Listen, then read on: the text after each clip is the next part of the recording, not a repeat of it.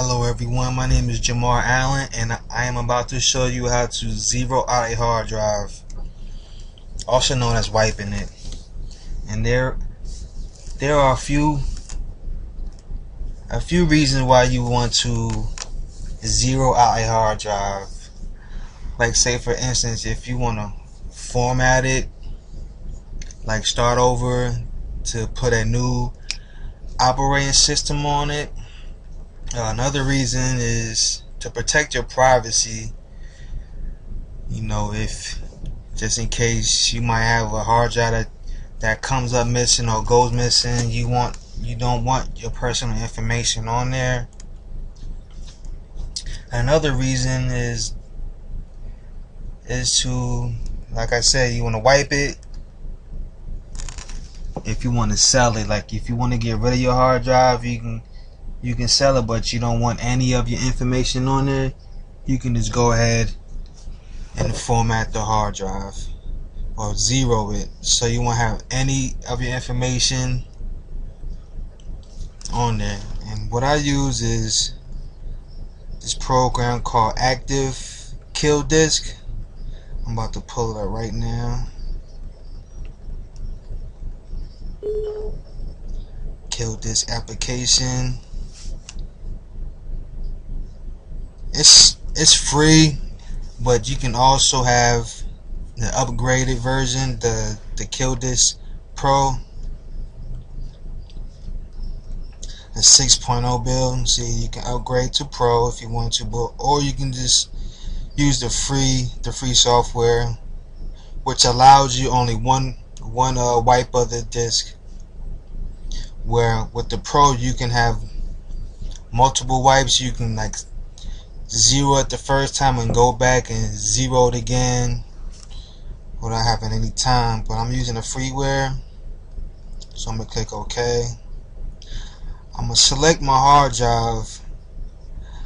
I do not want to select this because this is my system drive right here. I do not want to wipe that drive. And this is my multi-card my little SD card. But this is my external hard drive so I'm gonna select this it's 186 gigs.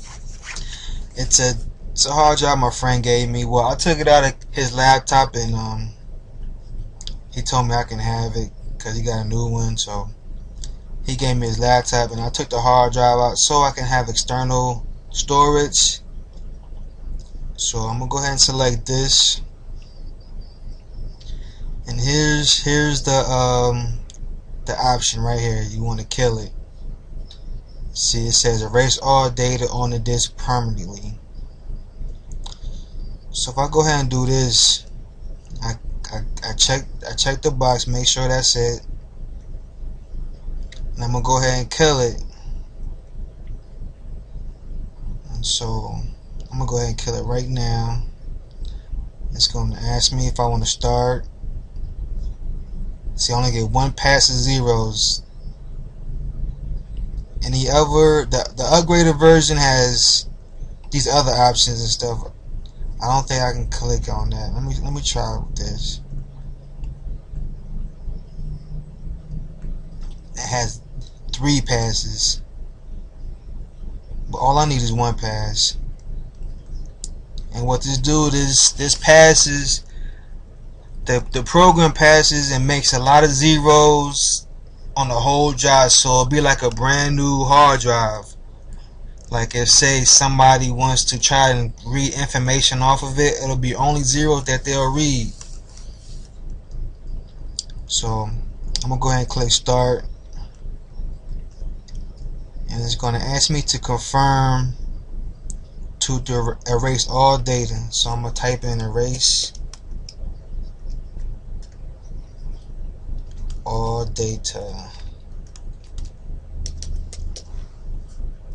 Click yes. And there we have it. Uh, it's, right now is reading the disk and it's going to have it's going to make a pass and it's going to start writing zeros on the hard drive so you, it won't have no information on it after I, I return to read it. and after it does that it's gonna you will have to reformat it using win using a Windows program.